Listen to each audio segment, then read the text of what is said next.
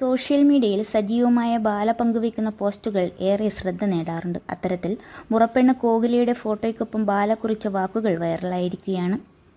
കോകിലയെ ചേർത്ത് നിർത്തിയുള്ള ഫോട്ടോയ്ക്ക് ബാല കുറിച്ച വാക്കുകളും അതിനു വന്ന ആരാധകരുടെ കമന്റുകളുമാണ് ചർച്ചയാകുന്നത്.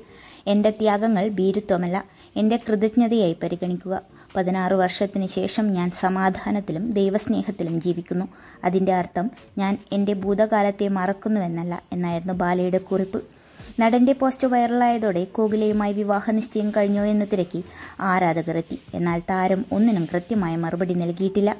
മുന്നോട്ട് സന്തോഷത്തിലും സമാധാനത്തിലും ജീവിക്കാൻ ബാലയ്ക്ക് ആശംസകൾ നേർന്നും ചിലർ എത്തിയിട്ടുണ്ട്.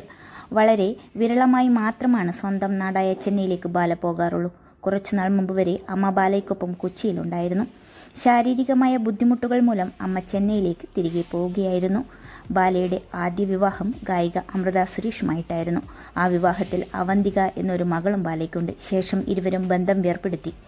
ബാല വിവാഹമോചനത്തിന് ശേഷം ഡോക്ടറായ എലിസബത്തിനെ വിവാഹം ചെയ്തു. ബാലയുടെ രണ്ടാം വിവാഹം ഏറെ ചർച്ചയായിരുന്നു. എന്നാൽ കഴിഞ്ഞ കുറച്ചു നാളുകളായി എലിസബത്തും ബാലയും ഒരുമിച്ചല്ല താമസം. എലിസബത്ത് ഇപ്പോൾ വിദേശത്താണ്.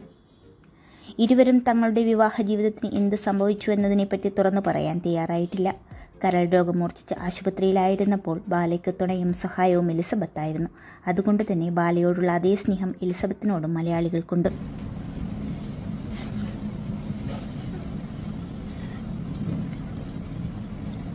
இப்ப தெரியுதா எப்படி நான் பிரியாணி வந்தாலும் டயட் மெயின்டைன் பண்ணிட்டு நான் எப்படி இதே வெயிட்ல மெயின்டைன் பண்றது புரியுதா